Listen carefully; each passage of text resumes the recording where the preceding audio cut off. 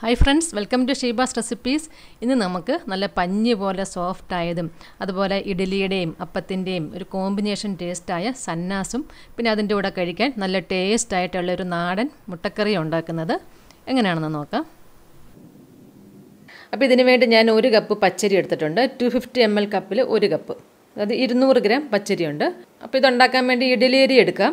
പിന്നെ പൊന്നരി ഉണ്ടെങ്കിൽ അത് വേണമെങ്കിലും എടുക്കാം. അപ്പോൾ ഈ മൂന്ന് അരിയിൽ ഏത് വേണമെങ്കിലും എടുക്കാം. പച്ചരിയൊക്കെ എടുക്കുമ്പോൾ നല്ല ക്വാളിറ്റിയുള്ള പച്ചരി എടുത്താൽ നല്ലതായിരിക്കും. പിന്നെ രണ്ട് ടേബിൾ സ്പൂൺ ഉഴുന്ന് വേണം. അപ്പോൾ ഇതിന് ഒരുപാട് ഉഴുന്ന് വേണ്ട. ഒരു കപ്പ് അരിക്ക് രണ്ട് ടേബിൾ സ്പൂൺ ഉഴുന്ന്. ഇത് നല്ലതായിട്ട് കഴുകിയിട്ട് അഞ്ചാറ് മണിക്കൂർ നേരം ഒന്ന് കുതിരാനിടണം ഇതിപ്പോൾ ഞാൻ അങ്ങനെ കുതിർത്ത് വെച്ചേക്കുന്ന അരി ഉഴുന്നുക ഇനി നമുക്കിതൊന്ന് അരച്ചെടുക്കണം. അപ്പോൾ ഇത് മിക്സിയുടെ ജാറിലോട്ട് ഇട്ട് കൊടുക്കാം. ഇതിലോട്ട് കാൽ കപ്പ് ചോറും കൂടി ഇട്ട് കൊടുക്കണം.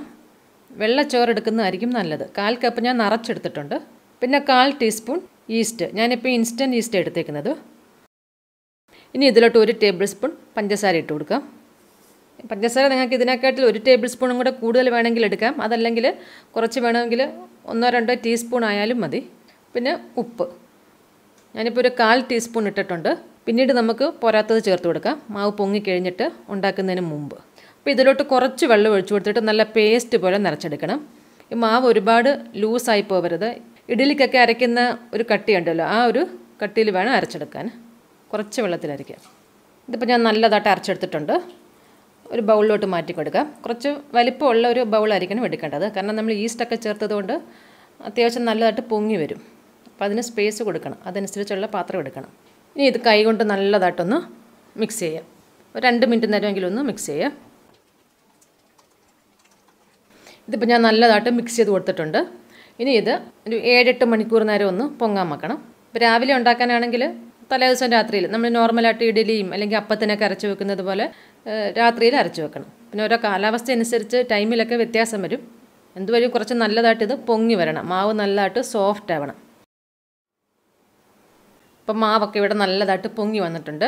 ഞാനിപ്പോൾ രാത്രിയിൽ അരച്ച് വെച്ചത് ഇപ്പോൾ രാവിലെ ആയിട്ടുണ്ട്. ഒന്ന് നല്ലതായിട്ട് ഇളക്കി കൊടുക്കാം. ഇതിപ്പോൾ നല്ലതായിട്ട് മിക്സ് ചെയ്തിട്ടുണ്ട്. ഇനി നമുക്ക് ഇരുപത് മിനിറ്റ് നേരമോ അല്ലെങ്കിൽ അരമണിക്കൂർ നേരം കൂടെ ഒന്ന് അടച്ചു വെക്കാം. ഇത് ചെറുതായിട്ടും കൂടെ ഒന്ന് പൊങ്ങി വരും. അത് കഴിഞ്ഞിട്ട് നമുക്ക് ഉണ്ടാക്കിയെടുക്കാം. ഇതിപ്പോൾ ഒരു അരമണിക്കൂറായിട്ടുണ്ട് ശകലം ഒന്ന് പൊങ്ങി വന്നിട്ടുണ്ട്. ഇനി ഇതുപോലെ ജസ്റ്റ് ഒന്ന് ഇളക്കിയിട്ട് നമുക്ക് ഉണ്ടാക്കിയെടുക്കാം. ഇത്രയും മതി. ഒരുപാട് ഇളക്കണ്ട. നല്ല സോഫ്റ്റായിട്ട് മാവ് വന്നിട്ടുണ്ട്. ഇപ്പോൾ കുറച്ച് പേർക്കെങ്കിലും അറിയായിരിക്കും മാംഗ്ലൂർ സ്പെഷ്യലായിട്ടുള്ള ഒരു ബ്രേക്ക്ഫാസ്റ്റ് ഇത് നമ്മളുടെ ഇഡലിയുടെയും അപ്പത്തിന്റെയൊക്കെ ഒരു കോമ്പിനേഷനായിട്ട് വരും ടേസ്റ്റ്. അപ്പോൾ ഇത് നോർമലായിട്ട് ഇതുപോലുള്ള പാത്രത്തിലാണ് ഉണ്ടാക്കുന്നത്. ചെറിയ ചെറിയ കപ്പിൽ അപ്പോൾ ഇതില്ലാന്നുണ്ടെങ്കിൽ ഇഡലി പാത്രത്തിൽ എണ്ണ തൂത്തിട്ട് അതിലും കോരി ഒഴിക്കാം. അപ്പോൾ ഇതിൽ കുറച്ച് ഓയിലൊന്ന് തൂത്ത് വെക്കണം. നല്ലെണ്ണ ഉണ്ടെങ്കിൽ അതായിരിക്കും നല്ലത്. ഇല്ലെങ്കിൽ ഏതെങ്കിലും എണ്ണ എടുക്കാം. വെളിച്ചെണ്ണയോ എന്ത് വേണമെങ്കിലും യൂസ് ചെയ്യാം. ഞാനിപ്പോൾ ഇതും കൂടി യൂസ് ചെയ്യുന്നുണ്ട്. ഇത് സിലിക്കോൺ മോൾഡാണ് കപ്പ് കേക്കൊക്കെ ഉണ്ടാക്കുന്നത്. ഇതിലും ലൈറ്റായിട്ടൊന്ന് എണ്ണ തൂത്തിട്ടുണ്ട്. ഇഡലി പാത്രത്തിന്റെ അടിയിൽ ഒഴിച്ചു കൊടുത്ത വെള്ളമൊക്കെ വന്ന് തിളയ്ക്കാൻ തുടങ്ങിയിട്ടുണ്ട്. ചെറുതായിട്ട് ആവിയൊക്കെ വരുന്നുണ്ട്. ഇനി നമുക്ക് ഒഴിച്ചു കൊടുക്കാം. അപ്പോൾ നിങ്ങൾ രാവിലെ ഉപ്പ് നോക്കിയിട്ട് വേണമെന്നുണ്ടെങ്കിൽ ഉപ്പ് ചേർത്ത് കൊടുക്കണം. ഇത് ഒഴിക്കുമ്പോൾ നിറച്ചങ്ങ് ഒഴിക്കരുത്. കപ്പിന്റെ പകുതിയെ ഒഴിക്കാവൂ. കാരണം ഇത് പൊങ്ങി വരും. അപ്പം അതിനുള്ള സ്പേസ് വിടണം. മാവ് ഒഴിക്കുമ്പോഴേ കണ്ടില്ലേ ഇഡലി മാവിന്റെയൊക്കെ ഒരു രീതിയിൽ തന്നെ ഇരിക്കണം. ഇനി നമുക്കിത് അടച്ചു വെച്ച് വേവിക്കാം. മീഡിയത്തിന്റെ ഹൈ ഫ്ലെയിമിന്റെ ഇടയിൽ ഇട്ട് അടച്ചു വെക്കാം. ഏകദേശം ഒരു പതിനഞ്ച് മിനിറ്റ് ഒക്കെ വേണ്ടി വരും. ഇതിപ്പോൾ ഒരു പതിനഞ്ച് മിനിറ്റ് ആയിട്ടുണ്ട് വെന്തിട്ടുണ്ട്. ഇതെടുത്ത് മാറ്റാം ഇതിൽ നിന്ന്. ഇതിപ്പോൾ കുറച്ച് ചൂടാറിയിട്ടുണ്ട്. ഇനി നമുക്ക് ഈ കപ്പിൽ നിന്ന് എടുത്ത് മാറ്റാം. അല്ലേ നല്ല സോഫ്റ്റായിട്ട് ഇരിക്കുന്നത്. ഇത് എണ്ണ തൂത്തേക്കുന്നതുകൊണ്ട് പെട്ടെന്ന് ഇളകി വരും. അപ്പോൾ കുറച്ച് ഞാനിവിടെ ഉണ്ടാക്കി എടുത്തിട്ടുണ്ട്. ഒന്ന് മുറിച്ച് കാണിക്കാം. ഉൾവശം കണ്ടില്ല നല്ല സോഫ്റ്റായിട്ട് ഇരിക്കുന്നത്.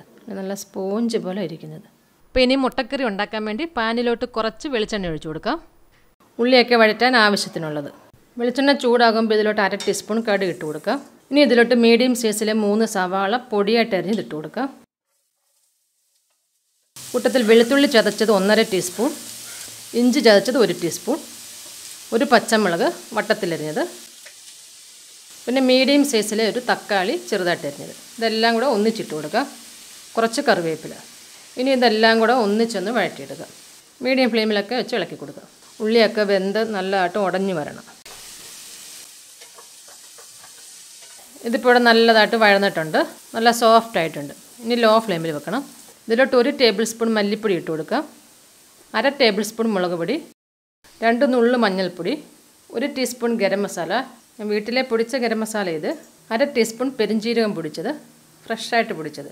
അര ടീസ്പൂൺ കുരുമുളക് പൊടി. ഇനി ഇത് ലോ ഫ്ലെയിമിൽ തന്നെ ഒന്ന് ഇളക്കി കൊടുക്കാം. ഇതിന്റെ പച്ചമണം ഒന്ന് പോകാൻ വേണ്ടി.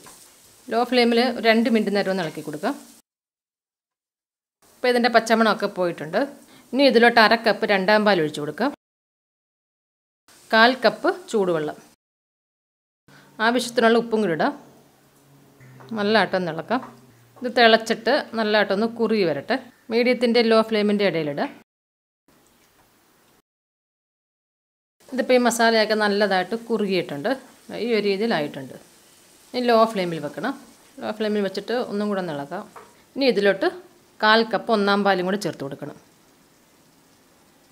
കുറച്ചും കൂടെ കറിവേപ്പില ഒന്ന് ഇളക്കി കൊടുക്കാം. ഇത് നല്ലതായിട്ടൊന്ന് ചൂടായിട്ട് വരട്ടെ. അപ്പോൾ ഉപ്പൊക്കെ നോക്കണം ഈ സമയത്ത്. ഇതിപ്പോൾ ഇവിടെ നല്ലതായിട്ട് ചൂടായിട്ടുണ്ട്. ഇനി നമുക്ക് ഫ്ലെയിം ഓഫ് ചെയ്യാം. ഞാനിപ്പോൾ ഇതിലോട്ട് ചേർക്കാൻ വേണ്ടി മൂന്ന് മുട്ടയാണ് പുഴുങ്ങി എടുത്തേക്കുന്നത് അപ്പോൾ ഈ ഒരളവിൽ നാല് മുട്ട നിങ്ങൾക്ക് എടുക്കാം. ഒന്ന് വരഞ്ഞു കൊടുത്തിട്ടുണ്ട്. ഇനി ഓരോ മുട്ട ഇതിലോട്ട് വെച്ച് കൊടുക്കാം. ഇനി മസാല മുകളിലോട്ട് വെച്ച് കൊടുക്കണം. അപ്പോൾ ഫ്ലെയിം ഓഫിലായിരിക്കുന്നത്. ഇനി ഇത് ഒരു അഞ്ച് മിനിറ്റ് നേരം അടച്ചിങ്ങനെ വെച്ചേക്കാം. ഫ്ലെയിം ഒന്ന് ഓൺ ചെയ്യേണ്ട. ഈ മസാല അഞ്ച് മിനിറ്റ് നേരം ഇതിന്റെ മുകളിൽ ഇരിക്കട്ടെ. അത് കഴിഞ്ഞിട്ട് നമുക്ക് സെർവ് ചെയ്യാം. ഇതിപ്പോൾ ഒരു അഞ്ച് മിനിറ്റൊക്കെ നമ്മൾ അടച്ചു വെച്ചായിരുന്നു. ഇത്രയും മതി. അപ്പോൾ നമുക്കൊന്ന് സെർവ് ചെയ്യാം.